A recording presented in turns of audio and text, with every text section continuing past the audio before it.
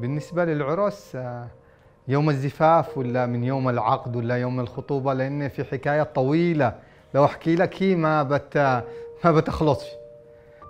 لكن بالنسبة للخطوبة آه هو تربية تعز منفتح وأنا تربية صنعاء شوية منغلقة بس صادني يعني. قدر يصيدني في خلال أربع أيام. بس بصراحة تعبت تعبت تعب شديد لكن الله وفقنا والله الحمد لله. بزوجة صالحة. أنا اسمي بشرى آه وهذا زوجي أسامة. آه، إحنا أسرة يمنية عايشين في مصر لاقين بسبب الحرب. آه، أتينا بظروف بسبب ظروف قاسية. الحمد لله وعايشين لما يصلح الله البلاد والعباد. ما كنت متخيلة إنه يكون في خطوبة أصلا. ما كنتش متوقعة نهائيا. هو جاني للشغل وفتح لي الموضوع. كان زي ال شفت لما يفتتح عليك مطر شديد يعني وانت تحت المطر مش عارف إيش اللي حاصل معك. فأنا بقول له بال- بالصريح إنه لا ما فيش خطوبة. وبعدين هو كان رايح مسافر.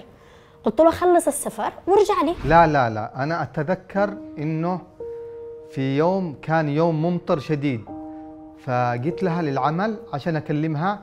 تخيل من شدة المطر كله ونحن نتكلم يمكن عشر دقائق ربع ساعة وهي مثل العجمة كذا وأنا أكلمها. وبالأخير لم أح- لم أحصل على رد وتأخذ ظهرها وتمشي. فانقهرت. لا هو على طول تحركت على طول لبيتها ودقيت الباب فتفاجأت في هذاك اليوم. أي هو كان مصر. هو كان مصر. هو كان شاريني شاريني.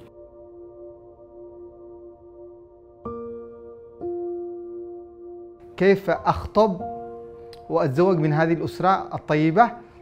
لما قلت لهم أنا أشي أتزوج أنا قالوا طيب بنسأل بنعمل. قلت طيب طيب خذوا راحتكم. آه معي آه هذه الدبلة هذه. نلبس الدبلة. إذا طلع أسامة مش تمام ارقموا الدبلة هذه وخلاص كأنكم ما تعرفوناش فأقنعتهم بهذه الحكاية والحمد لله توفقت. فأنا تفاجأت. هو خلص مع أهل اللقاء ورجع لي للمستشفى بيغيظني ها؟ زي اللي يقول لي أنا عملتها. غصبا عنك أنا حاخذك. كذا أنا حاخذك مش عارفة يعني أحيانا بيطلع ال- لأني نصيب وربي سهل له الموضوع. جهزت نفسي آه في يمكن ثلاث أيام أربع أيام. حصل إنه أخي رفض إنه ليش السرعة هذه؟ رحت اشتريت الدبل وكذا وخلاص خطبتها. آه جلسنا مخطوبين فترة حوالي ما يقارب آه يعني يمكن سبعة أشهر ستة أشهر. ثمانية أشهر بالضبط. أيوة ثمانية أشهر. قلت له نشتي عقد كنت أنا مسافر خارج البلاد. هو كان الاتفاق إنه يكون معي في جميع مراسم العرس. بس بسبب ظروف أول حاجة المالية لأنه الذهاب والإياب مش سهل جدا.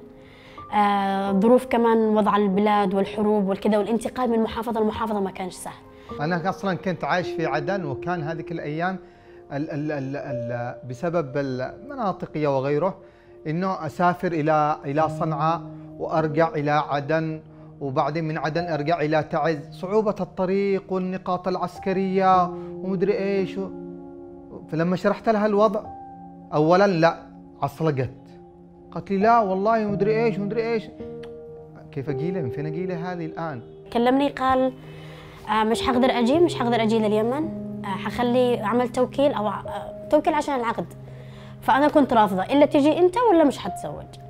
فقلت له خلاص اللي حيجي يعقد علي والله اتزوج فيه ماليش دعوة. من كان يكون قلت له أبي أبي اللي اللي حيعقد أبي ضحكت.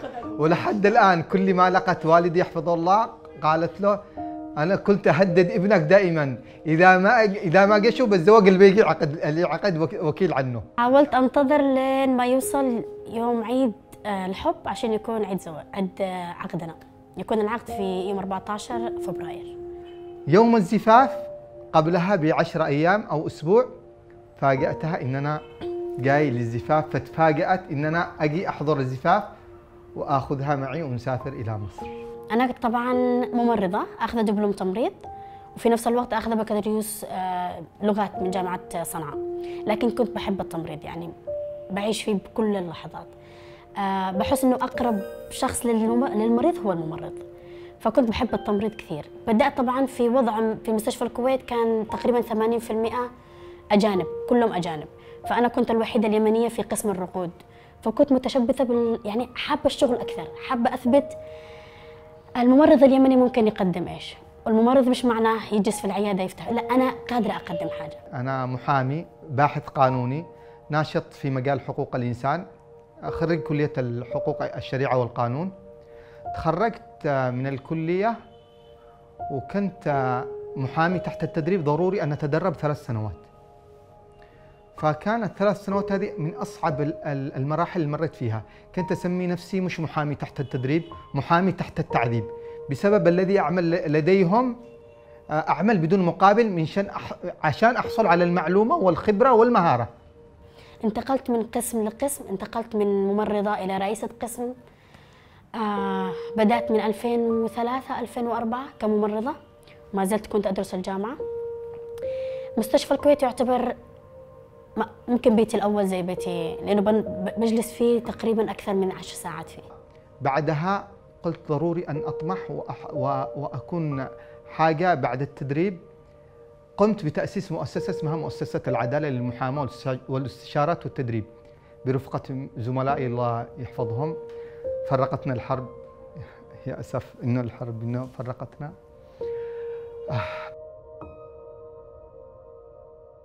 كنت مستمتعة بشغلي. أخذ كل وقتي.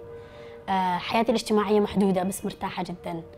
آه، عملت علاقات مع جميع الفئات في المستشفى. كنت أعرف كل الصغيرة والكبيرة تحولت إلى إدارة التمريض. كنت مديرة تمريض مسكت التمريض علاقتي مع الزملاء كويسة. آه، كنت أعتبر أعتبر نفسي أم أخت كبيرة. كنت أزعل على طفل في المستشفى مستشفى الكويت بالذات. أزعل إذا حصل في حاجة أو حصل في نقص. أزعل على الكادر أو المريض إذا في خطأ.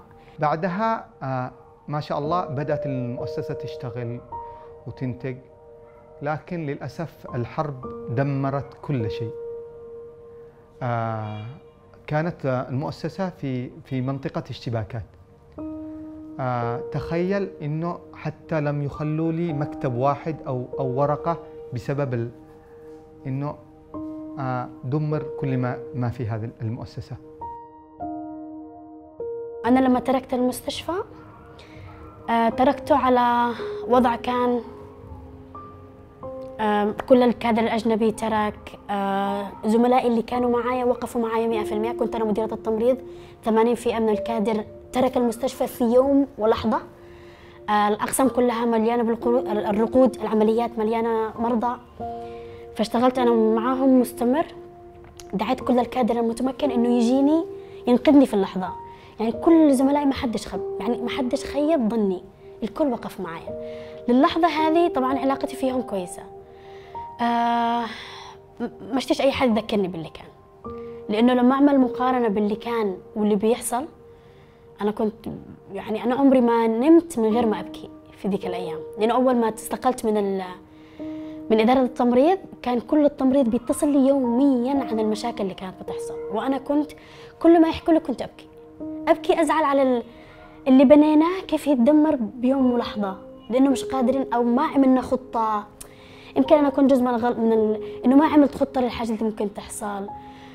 فحاولت بقدر الإمكان أسحب نفسي لأنه مش قادرة أعيش باللحظة اللي كانت هناك ومش قادرة أسمع اللي كان يحصل فيه. وأبكي عليه لليوم والله مستشفى الكويت لأنه كان يقدم شريحة يعني خدمة جميلة جدا لشريحة كبيرة من الناس الفقراء ذوي الدخل المحدود. والله لما أجينا إلى مصر كانت آه، قرار كان صعب. كان عملها في تعز آه، عملها في صنعاء وأنا عملي بين تعز وعدن في المناطق المحررة يعني. فبسبب عملي أنا محامي وناشط حقوقي وصعب أن أنا أتنقل بين القضايا بين المحافظات وكذا.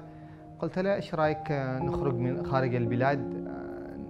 نشوف حالنا نشوف هدف آخر بسبب أوضاع الحرب. العيشة أصبحت هنا صعبة ما فيش أعمال ما فيش رواتب. طبعا أول ما جيت هنا كنت عروسة كنت مستمتعة بكل اللحظات. خروج دخول متعة كملنا شهر شهرين. أه حسيت إنه الوضع مش مستقر. بالذات لما قدمت لجوء. أول ما قدمت لجوء شفت مع معاناة معاناة. الطوابير آه، أماكن اللي تروحها عشان تاخذ المساعدة. وإحنا كيمنيين ما بياخذوش المساعدة زي اللاجئين الآخرين. آه، إحنا نعتبر لاجئين مؤقتين يعني. بالنسبة لو أول ما جيت مصر بشرى أنا عانيت معاناة كنت في حالة نفسية شديدة.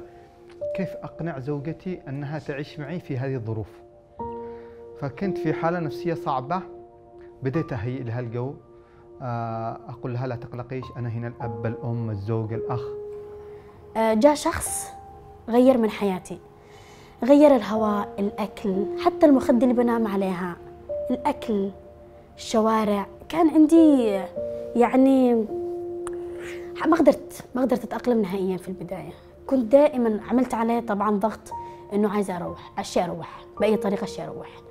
أنا قلت له شهر تسعة لو ما جاء ضروري أروح. كنت أبكي واصل أبكي واصل. خليني أكلم أمي. الإنترنت في صنعاء كان طبعا سيء للغاية. الآن بشرى أصبحت بالنسبة لي مرأة فوق الوصف مرأة عظيمة. ما شاء الله عليها. آه الآن هي الداعمة النفسية لي. أنا أصبحت الآن ال- ال- الأضيق وهي اللي أصبحت اللي تهديني يعني رجع إيش؟ ردة الفعل عكسية. في نفس الوقت هو طبعا لما يتصل بيقول هابوش تخيل مع أصحابه يمنيين فبيعلقوا عليه كثير آه الداخلية بتخاف منها دائما ترد عليها. فانا شوية كنت حريصة إنه ما ي... ما افهمش الناس كيف. فكنت حريصة إنه أم ما تصل لك يا أسامة تقول ليش بوش ولا تقول عمري حبيبتي أو كذا. يا تاخذ جانب يا تكلمني كشخص أنت بس اسمع مني. بالعكس أنا مستمتع جدا بتفاقدها لي بخنقتها لي. أصبحت خلاص متعود يعني.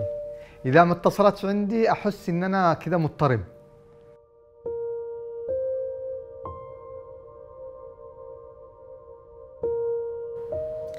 آه طبعا أنا بدأت آه، دراسه ماجستير في صنعاء. بس أول شهر آه بدأت الحرب فوقفت كل حاجة. هو كان عارف إن أنا الدراسة هذه عندي حاجة رئيسية شيء أدرس كنت شيء أدرس. فهو لما شافني دائما متضايقة متضايقة يعني حاول يدخلني في مود جديد إنه إيش رأيك ندرس؟ كانت طريقة حكيمة منه وذكية. يعني قدر يسيطر علي خلاني أتأقلم بطريقة حلوة. بدأت دخلني ماجستير ولسه ما عندناش أي دخل. قال لي خلينا نسجل. طيب أنا من النوع اللي أحب أخطط. طيب كيف ندخل ندرس وإحنا ما عندناش أي دخل؟ آه والدفع بالدولار. كان قرار إن إننا ندرس الاثنين مع بعض. فكنا ما عندنا تكاليف الدراسة فكان جاء رأي منها إنه إنه أي واحد من الثاني يضحي بالثاني. إنه يا تدرسي يا أدرس أنا. واحد من اثنين. يعني يدرس أنا يا تدرسي. على إيش؟ نغطي تكاليف واحد مننا. فقلت لا لا مستحيل. ندرس الاثنين. والله ودخلنا. ودفعنا أول قسط. مش عارفة كيف. دفعنا أول قسط. يعني كنا بناخذ في الش... كان مخططنا كالتالي. لما ناخذ اللي هو ال 100 دولار كانت في الشهر كان أول حاجة نخرج حق الإيجار. أول شيء عشان ما حدش يدلنا بأي شيء. بعده بنخبي 200 300 دي حق الدراسة. الباقي بنعيش فيها. بنعيش فيها. مش يعني مش أقول الحاجة هذه بس كنت أنا مخبية كمان مبلغ. آه، من خلف الكواليس جبتها معي من اليمن بس ما كلمتوش عليها. بس كنت أخرج من غير ما يحس شراء الحاجات أو بس خلاص كملت ها؟ كملت ما عاد فيش آه، فبدأنا الدراسة كملنا الترم الأول. آه، ما شاء الله كنا خطوه وخطوه ما عمرنا تراجعنا ولا مرة. واستمرينا ما شاء الله. هو مش آخذ ماجستير طبعا هو آخذ ماجستيرين في نفس الوقت. آخذ ماجستير في مصر وآخذ ماجستير في في السودان في نفس الوقت. والآن نحن الآن أنا في مرحلة الدكتوراه وهي في مرحلة الدكتوراه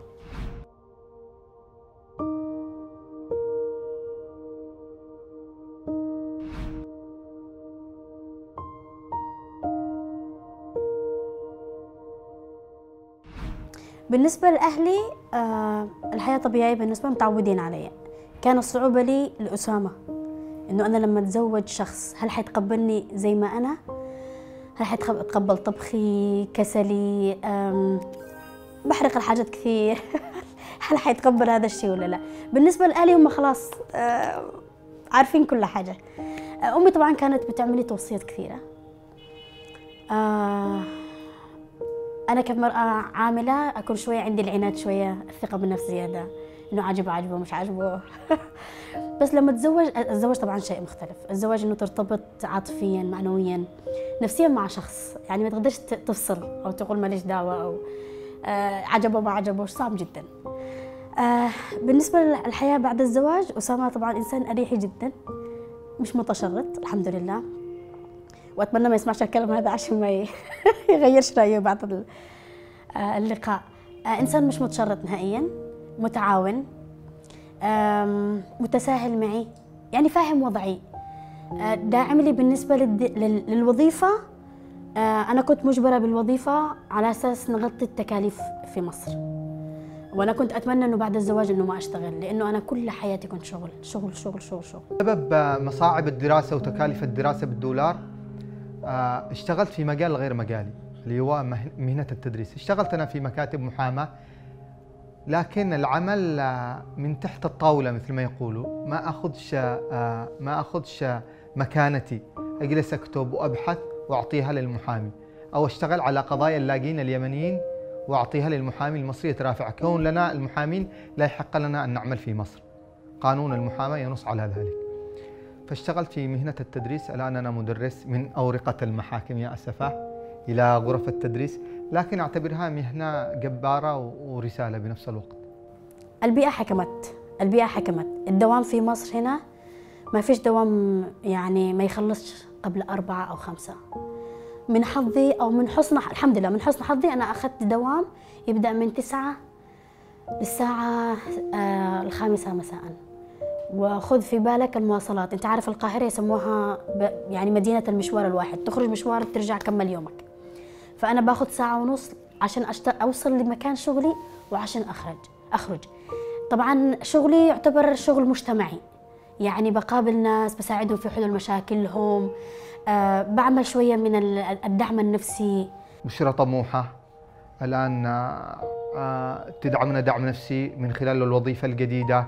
من خلال تأسيس مبادرة لمساعدة اللاجئين. تقول لي بدل ما تكون عملي تلفون تمشي مع هذا تروح مع هذا تخدم مع هذا إيش رأيك تعمل لك مبادرة تخدم؟ بدأنا في خطواتها الأولية وإن شاء الله سنطلقها في الأيام المقبلة بإذن الله. أول حاجة أنا إنسانة شغالة بحب الدراسة فمش مرتبطة بالمطبخ كثير من قبل الزواج.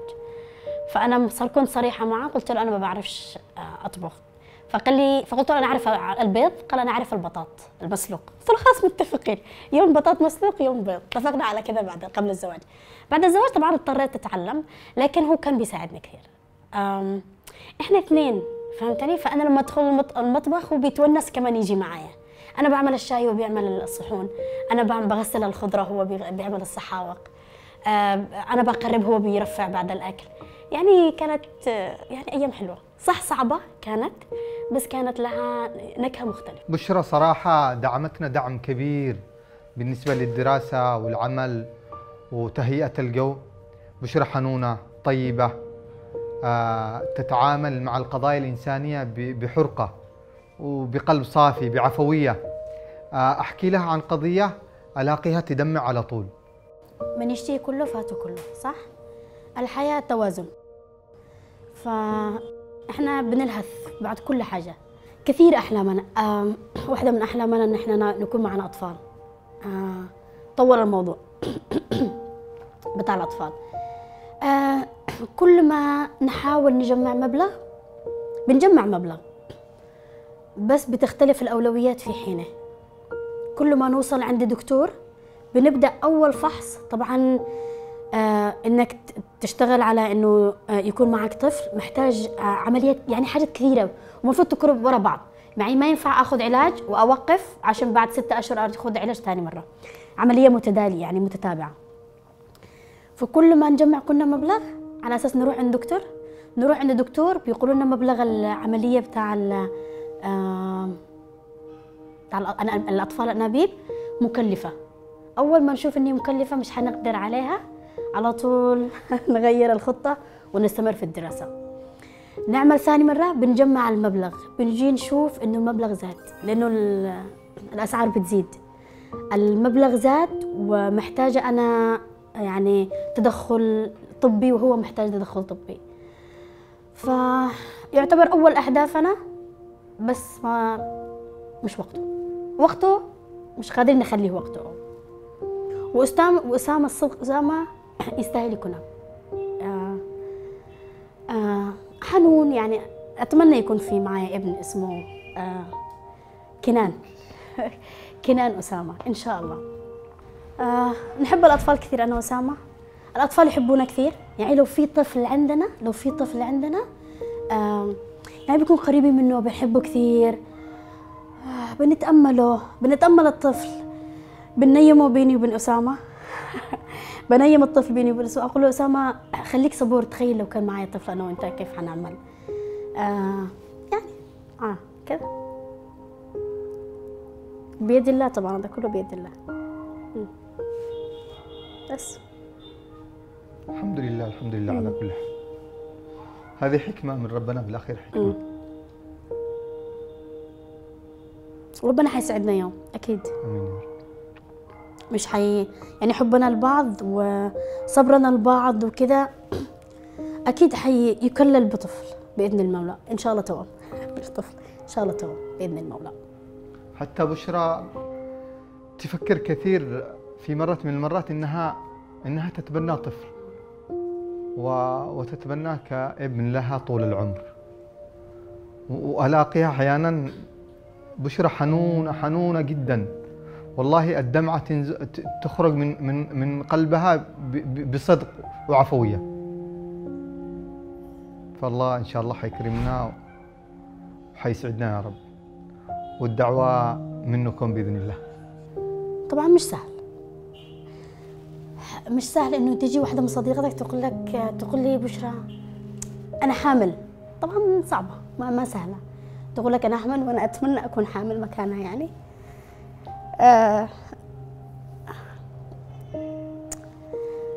طبعا أكون سعيدة ليه؟ طبعا ربي رزقها. آه سعيدة لانها منتظرة نفس أو آه، تشي طفل زي ما أنا عشتي أكيد. أعاني من هذه المشكلة كثيرا. بشرى آه، تقهر قلبي تبكي كثير بهذا الموضوع. لكن كله هو ربي عادل هو آرد كذا إنه إنه إنه بيرزقنا لكن مش آرد في هذا الوقت. البكاء مش ضعف رغبة يعني رغبة إنه أتمنى يكون معي الحاجة هذه. أتمنى يكون معي طفل أربيه. حتى كل واحد بتقول لي بشرى لو معاكي ابنك. قلت لهم ابني غير بأنه ما عندي. بس أقول لهم ابني غير. يعني أنا بالنسبة لي ابني ما يخرج الشوارع ابني نظيف ابني ما يلبسش حفاضات بيدخل الحمام في وقته من أول ما يولد. يعني بالنسبة لي عندي بالأخير هو آه، لا هي بإرادتي ولا إرادتها إرادة أرحم الراحمين. وإن شاء الله حشعر بنفس شعور صحباتي كل البنات آه، ما هي بعيدة على الله نهائيا وسعيدة لكل البنات لأنه أنا مش عايزاهم كمان يشعروا بنفس آه، فهمتني؟ بنقهر أنا وأسامة بنذكر أنا وأسامة وأنا متأكدة أو حاسة بأسامة بالمئة إنه زعلان بس هو بيحاول يقويني إن شاء الله يا بشرى إن شاء الله وأنا متأكدة إنه هو بيلفت للجهة الثانية وهو نايم وأنا عارفة إنه بياخد تنهيدة بسمعها أو بحسها إنه بياخد تنهيدة. لأنه زي اللي بيقول أنا مش بيدي ومش بيدي أوكي؟ أنا عارفة إنه مش بيدي أنا بس خليني أفضفض لك يا أسامة يعني أنا فضفض لمن؟ أنا من النوع اللي أهلي ما بحبش أدخلهم من حب بشرى في مواضيع أنا أذكرها فيها. من حب بشرى أحيانا آه، أشتري لها ملابس الأطفال أو أحصل والله تأخذها وتطرحها في ال... أخبيها معايا. والله تطرحها وتخبيها في ال... معايا ملابس. أطفال. أقول معايا لها ألعاب ليش يا بشرى تقول لي رجاء. نخليها للزمان؟ أنا متأكدة إنه الله حيكرمنا حيكرمنا. مم.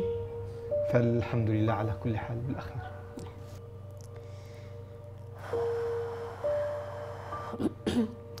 طبعا أنا آه، ما أحبش أحد يتدخل في حياتي أنا وسامة ولهذا أنا بكون سطحية كثير مع بحياتي الخاصة مع زوجي.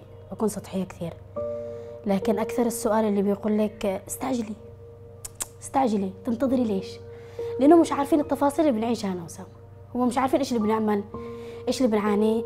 هم مش عارفين. هم حبا فيني وفي أسامة. هم حبا فيني.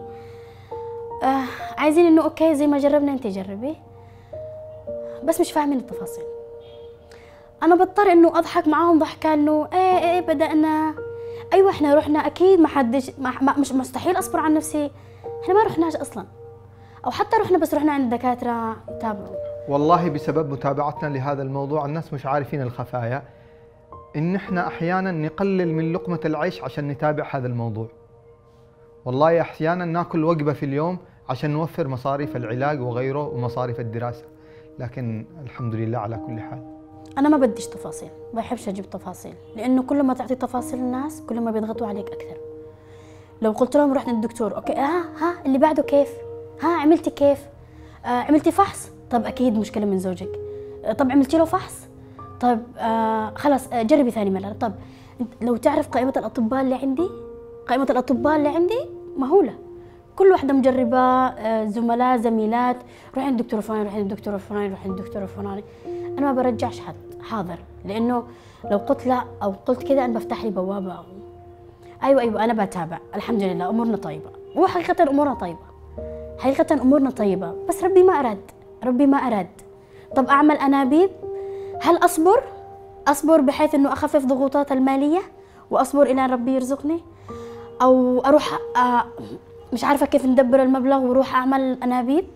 و صح أذكر حفرح بس آخر- عشان سكت اذكر الناس. آخر مرة كنا كنا حنعمل العملية ودبرنا نص المبلغ ورحنا وكنا أتذكر هذاك اليوم أنا وياها صيام. هي تذكر هذه اللحظة بنفس برمضان. قلنا عسى ربنا يكرمنا في هذا الشهر الكريم. ورحنا وتوجهنا إلى المركز وعملنا الفحوصات ودفعنا نص المبلغ لكن للأسف لم نقبل بسبب عدم عدم هي عارفة بالتفاصيل عدم تكلفة باقي العلاج. بس عمري ما ألوم لا نفسي لا ألوم أسامة. حاجة مش بيدنا. يعني أنا الرزق المالي ممكن أطلعه. آه علاقتي بالناس ممكن أبنيها أدمرها. ده, ده سهل سهل سهل مقدور عليه. بس حاجة بيد الله وله حكمة؟ ربنا له حكمة في الحاجة دي. آه ومش حكمة إنه يحرمنا. حكمة إنه يرزقنا بس بيح بي بي بيمتحن صبرنا.